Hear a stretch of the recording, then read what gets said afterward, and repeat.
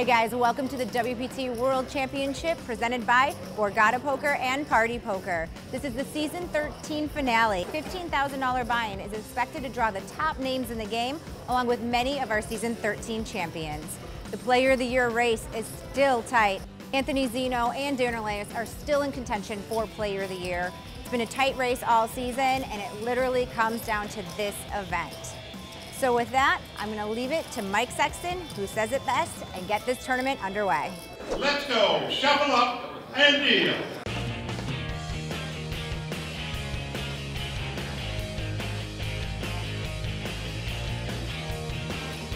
Stay tuned to WPT.com for all of your live updates from the WPT World Championship here in Atlantic City.